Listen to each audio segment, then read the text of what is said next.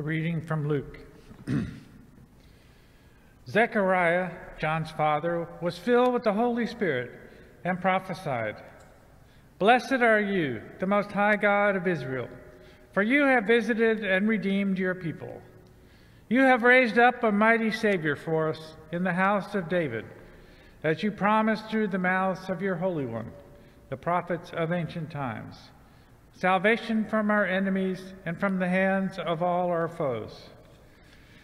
You have shown mercy to our ancestors by remembering the holy covenant you made with them, the oath you swore to Sarah and Abraham, granting that we, delivered from the hands of our enemies, might serve you without fear, in holiness and justice, in your presence all our days. And you, my child, will be called the prophet of the Most High for you'll go before our God to prepare the way for the promised one, giving the people the knowledge of salvation through the forgiveness of their sins. Such is the tender mercy of our God, who from on high will bring the rising sun to visit us, to give light to those who live in darkness and the shadow of death, and guide our feet into the way of peace. In the meantime, the child grew up and became strong in the Spirit he lived out in the desert until the day he appeared openly in Israel. Today, the second reading also comes from the Gospel of Luke. In the 15th year of the rule of the Emperor Tiberius, when Pontius Pilate was governor over Judea and Herod was ruler over Galilee, his brother Philip was ruler over Iturea and Trachonitis, and Lysanias was ruler over Abilene during the high priesthood of Annas and, and Caiaphas. God's word came to John, the son of Zechariah, in the wilderness. John went throughout the region of the Jordan River, calling for people to be baptized to show that they were changing their hearts and lives and wanted God to forgive their sins. This is just as it was written in the scroll, the words of Isaiah the prophet a herald's voice in the desert crying, Make ready the, make ready the way of our God, clear a straight path. Every valley will be filled, and every mountain and hill will be leveled. The twisted paths will be made straight, and the rough road smooth, and all humankind will see the salvation of God.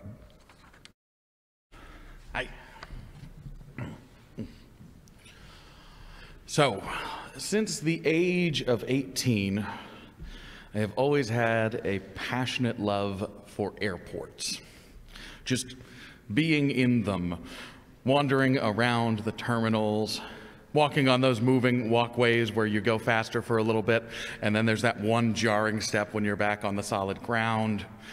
Working my way through the crowds, just landing from God knows what part of the country I used to look forward to layovers just because it was a chance to walk around some random airport somewhere. I've always kind of wanted to look into becoming an airport chaplain. I have no idea what an airport chaplain does, except I know you hang out in an airport all day and do clergy stuff, which is enough. There's just an energy of migration in the air in an airport. Everyone is in motion, making some big trip to a new place or returning to an old place, going back to a place of respite. I believe there is an inherent sacredness to travel, and I love being able to walk through crowds, knowing that we're not only all in motion, moving in orbitals around one another, but that we're all going somewhere, somewhere that means something, somewhere important.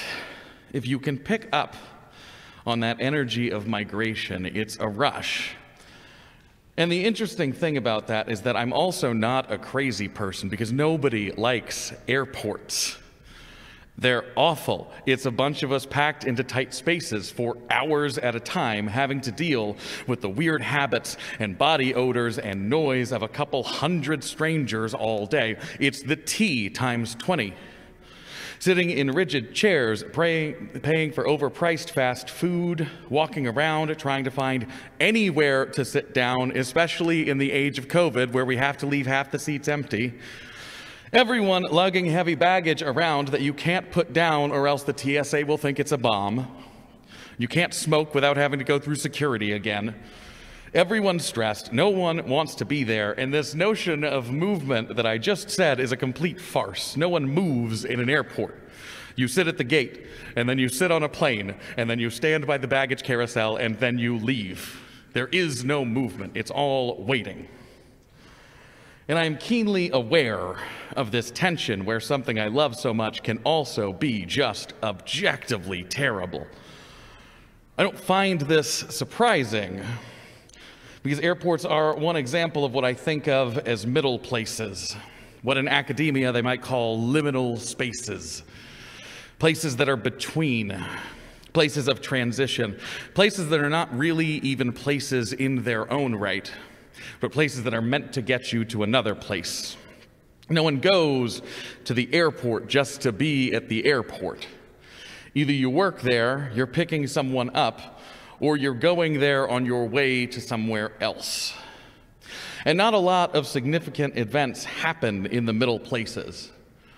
The new explorations, the joyful reunions, the embrace of nostalgia, the place of rest, all of these things come after the middle places. In the middle places, you wait and you watch and you walk. You check the time, you listen for the announcements, you put foot before foot for hours. You sit and observe, you mind your essential belongings.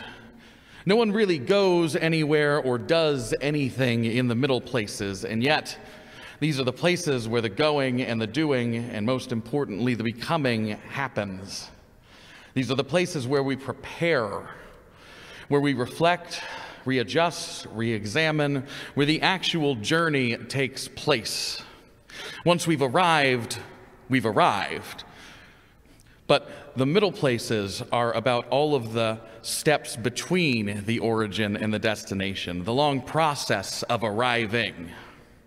They're some of the most fundamental places to our journeys and our processes of development but also in general, we don't like journeys and processes as much as we like arriving and finishing. And I bring this all up because the texts today are about John the Baptist. And John the Baptist, for one thing, occupied the middle places, being the wilderness all the time, between cities and homelands, places where one goes to fast and pray and reflect and encounter the divine, where one too must walk through the heat and the loneliness on your way to somewhere else. But also, John the Baptist is a sort of middle place himself. He's the beginning of the steps towards Jesus and the miracles and the crucifixion and resurrection and the global rise of the Christian church. He starts that process and he is killed before the process is finished, meaning his mark will always be in the beginnings and the middle places between the world shrouded in darkness and the world in which light shines on all. His call represents the beginning of movement towards the redemption of the world. And that is exciting. There are the beginnings of great signs and wonders coming from the hill country at this time. Prophecies are being spoken two, three times per chapter. The fruits of divine action can be readily seen and also, there's plenty about this dawning of a new era of God's salvation that is not really all that fun for those experiencing it firsthand. Zechariah is rendered speechless for nine months, sitting in his own sort of middle space of introspection privately. Jesus, after his baptismal encounter, proceeds immediately into the wilderness where he fasts and is tested for 40 days. John is imprisoned and beheaded. And let's also remember that before the redemption of this story even begins, we also have to journey through the flog, the cross, and the tomb. None of this miraculous new world comes immediately, and all of it comes at a cost. There is waiting and walking and preparing to be done. And we must journey through the middle places before we can arrive at salvation. And our current liturgical season is also, in a way, a sort of middle place. Advent is a season of waiting, expectation, and preparation. It is, with the sole exception of Holy Saturday, I believe, just about the only portion of our liturgical calendar in which Jesus is not present in the story. It's a time for us to reflect on what a world without God's redemption looks like and to wait for that redemption to come in its fullness. Advent, in its way, mirrors the real middle place that we are all in between the resurrection and the revelation. A journey that has started and still not reached its completion, what Pauline scholars would call an already but not yet. The beginnings of light entering the world, and the reflection on the time before when the night covered us all in its shadows and its doubt. It is a time so synonymous with the journey towards a better world that Advent comes from the same root word as adventure. So, of course, we hate Advent. I don't mean to speak for every single one of us, but in a societal sense, we're really not enthusiastic about the season of waiting. We'd rather skip right to Christmas. And a great many of us do so, and then some. Stores start putting out trees in August. Decorations go up just as soon as the Halloween ones come down. This year, for the first time, I actually heard people saying, oh boy, it's September 1st. Time to start celebrating Christmas.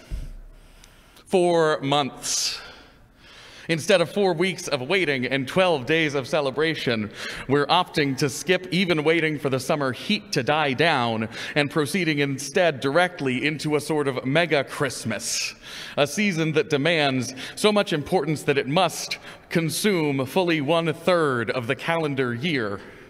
And God forbid you even mention any other day of significance that occurs in that time period, lest you be considered an enemy combatant in the war on Christmas. The ultimate irony being that so many of those who insist that Christmas be a four month titan of a holiday are the exact same people who declare Christmas officially over the morning of Boxing Day when we've got 11 days to go. But that's us as a species in general. We don't like to wait, we don't like to prepare. We don't want a journey into becoming something greater, we just want to be something greater now. Skip right past any of the reflection or the work of preparation and take me straight to the arrival in paradise. And we've actually done a pretty good job of bending the rules so that we can do more arriving and spend less time in the middle places. Christmas starts immediately after August now, I guess.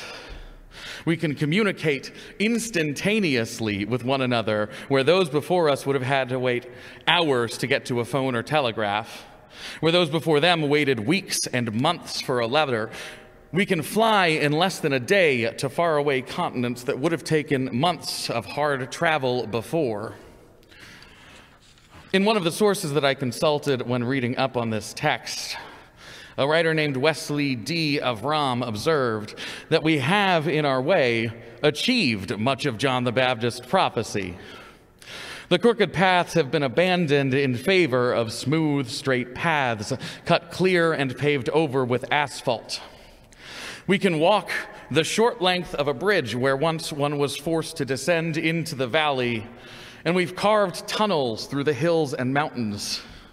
We are living in a version of John the Baptist's eschatological vision, and the irony is it's still not fast enough. It's still too much waiting. We want to teleport or apparate or beam each other up and down for all the Star Trek fans that are apparently in this room.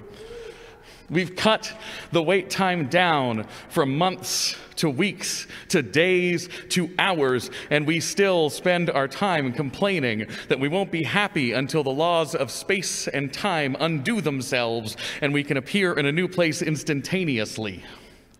We've forsaken letters that take weeks to send for a phone that can transmit a message halfway across the world in a second, and we still get upset when someone doesn't text us back right away. We live in a world where we can skip the mountains, valleys, and crooked paths altogether and just spend a few hours flying above the earth until we come back down two continents away, and we hate it.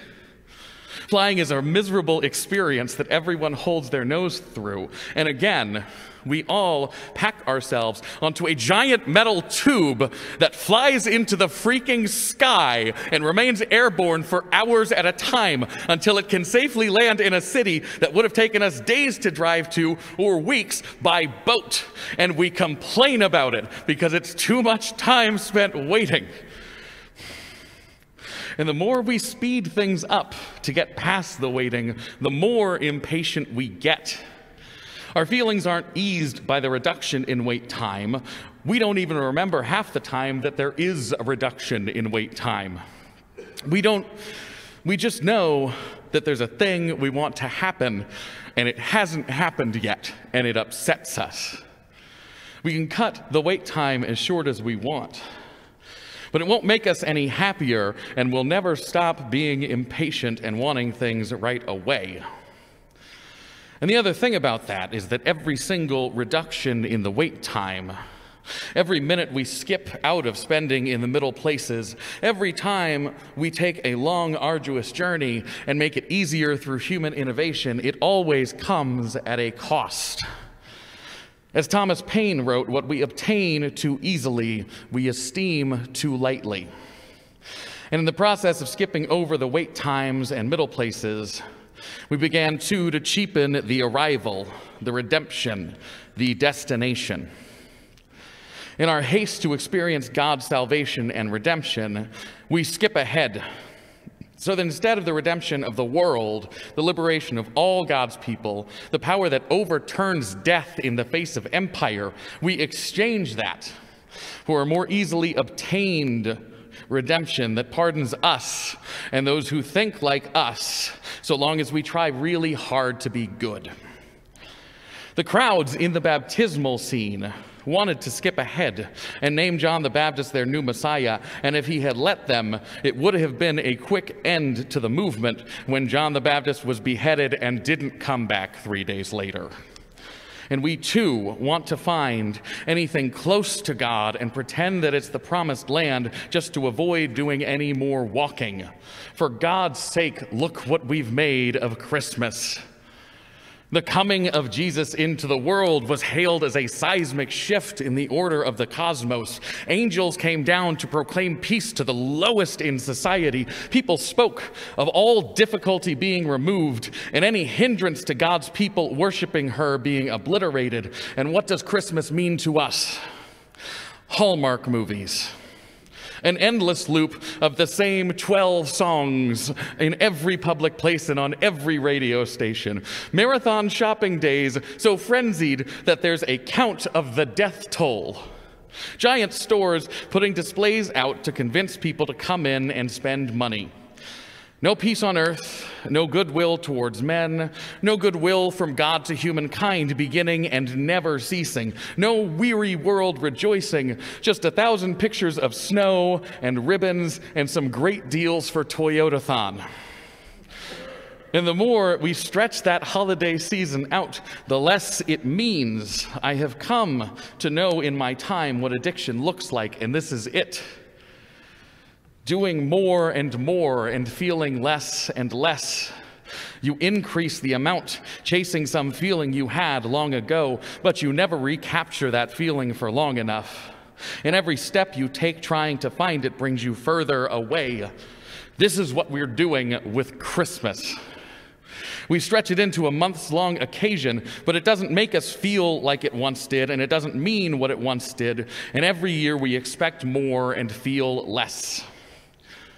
And I want to just make a quick aside to say that those of us who identify as Christians and believe that Christmas is somehow under attack are the worst offenders. They don't care if Christmas means spreading goodwill and cheer to the less fortunate and being grateful for the abundance in our own lives. They don't care about peace on earth or a weary world. They're upset because there are no snowmen on the Starbucks cups. And sometimes people acknowledge that other holidays also happen around this time of year. They are no closer to the root of Christmas than the rest of us, just more adamant that every public place must acknowledge Mega Christmas by name and decorate accordingly. Because they don't want to put in the work. They haven't taken the time, haven't thought it through. That's what middle places are for, and we hate middle places. Now, the theme of the second Sunday in Advent, which everybody I think knows because we were talking about it earlier, is peace. Martin Luther King Jr. wrote in his letter from a Birmingham jail that the great stumbling block to progress for racial equality comes in the form of the moderate who prefers a negative peace, which is the absence of tension, to a positive peace, which is the presence of justice. Now, this refers specifically to a societal peace in the midst of the struggle for racial justice, but I firmly believe the same framework could be applied to an inner sense of peace in our personal lives. You can skip ahead to a negative peace. Do a good vibes only thing. Tell everyone about the power of positive thinking and write live, laugh, love on all your home decor, but that won't bring you real, enduring peace or positivity. It won't help you weather the storms of life. It won't help you learn to be steady in the face of trouble. And eventually, you're going to run out of good vibes, and the ensuing wrath will show you for a hypocrite. Because peace takes time to obtain. Peace means you have to examine your life to find out what is preventing you from peace, and then you have to deal with those things slowly, deliberately, over the course of years, at which point you'll find more stuff that's standing in between you and inner peace, and you'll have to deal with that stuff. It's a long and difficult process. And it requires a very long time of waiting and working and watching, all in the middle place between beginning to build peace within yourself and achieving it. And you can try to fake it.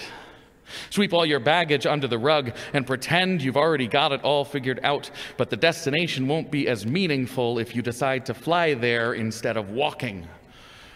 So, too, on a societal level, we can try to call this peace invent some justifications for why so many still suffer, tell ourselves they're really bringing it on themselves. We can sweep all our problems under the rug police brutality, political corruption, greed, indifference to the poor and suffering, control over women's bodies, bigotry, and hatred. Better yet, we can tell ourselves that this peace only applies to those in our own circles Maybe even invent some theological doctrine that says all the right people will suddenly be taken up to heaven and everyone else will be left here to suffer, even though there's nothing in the Bible that remotely suggests that.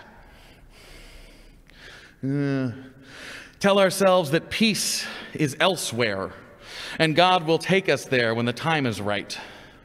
We can let our impatience get the best of us and call this peace right now, but I don't think anyone will be fooled by that. And to get to the real enduring peace that covers us all and makes the world new, we're going to have to remove a lot of stumbling blocks of our own first. And the longer we all try to skip the journey and get right to the good part, the greater will be the impediments we are throwing in our own way. So it would probably be best for all involved if we stopped trying to teleport and just started walking. Thank you.